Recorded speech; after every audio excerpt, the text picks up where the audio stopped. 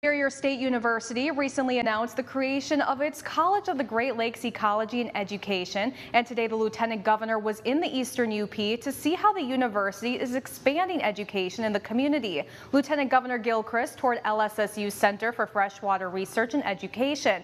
Along with its labs and offices for researchers, the center has space for public outreach and a discovery center for students in kindergarten through 12th grade.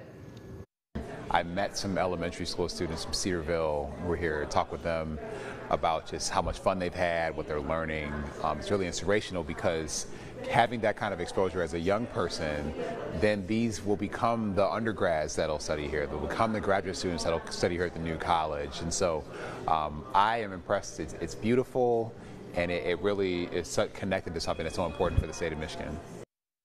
Researchers will be looking at things like the impact of invasive species or how to respond to possible oil spills. Students can enroll in LSSU's College of the Great Lakes Ecology and Education starting in the fall 2023 semester um, where CFRE is really going to be leading the charge at our, our fish and wildlife programs and also bringing in that education aspect to give them, you know, that place-based learning for our undergraduate students. And at the same time, we're going to be finally offering, you know, a, a master's program, hopefully, for our fisheries and wildlife students. So um, a great time for him to come through. He's super excited. Um, you know, he, he has a lot of passion clearly for the Great Lakes and, and the important resources we have here. And uh, we're really at the center of it here at CFRE. So perfect time for him to come, and he's very, yeah, very excited for sure.